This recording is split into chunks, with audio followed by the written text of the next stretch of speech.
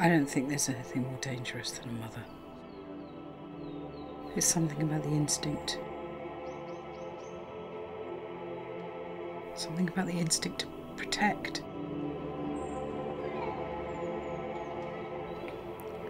The honesty is is our trump card. I just don't know.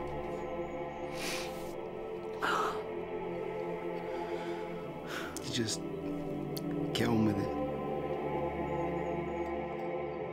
Dylan. I'll see you later.